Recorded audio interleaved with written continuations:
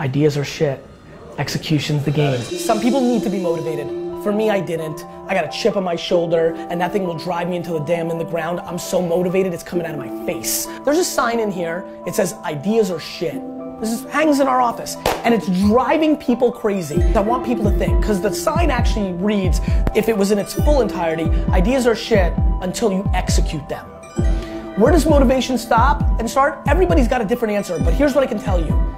It's really easy to be motivated. Either you've got it or you can watch it. It's really hard to execute. It is the variable that separates people. But I know that most of you, 99% of you, aren't gonna do anything about it, and that sucks. There's so many great ideas. There's way less great executions. The 7,000 greatest ideas of all time never saw the day of light. They just haven't. Because execution's hard. I promise you, sitting around and saying, oh, I had that idea for Uber before Uber did.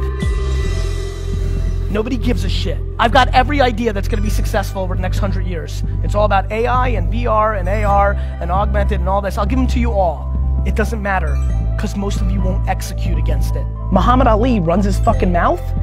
He executes and he's the greatest.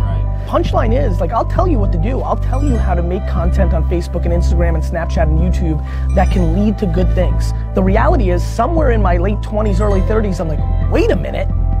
People don't do it. People like to talk. Show me. Be happy and execute on your thing.